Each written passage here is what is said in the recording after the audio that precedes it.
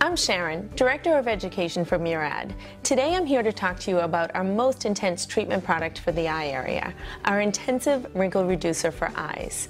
If you look in the mirror and you see deep lines and wrinkles and crow's feet in the eye area, you want to invest in a solution that will help minimize the appearance of aging. This product is something you use morning and night, a very small amount applied with your ring finger, gently pressing along the orbital bone both above and below the eye. It will help to minimize the appearance of crow's feet, deep lines and wrinkles, puffiness, and even minimize the appearance of dark circles around the eyes. You'll be looking and feeling much younger.